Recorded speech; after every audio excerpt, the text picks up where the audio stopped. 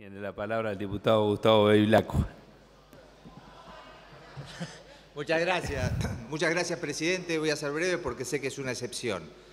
Particularmente a, a los colegas, decirle que creo que la discusión no está qué jugador fue más importante en la historia o quién lo creó, sino en la identificación de esa ciudad, una ciudad del sur bonaerense que realmente se ha identificado propiamente por sus jugadores, obviamente que ha trascendido eh, toda esta generación dorada que muchos hemos aplaudido, pero no es solamente por la gente, sino por la identificación que esta ciudad tiene con ese deporte.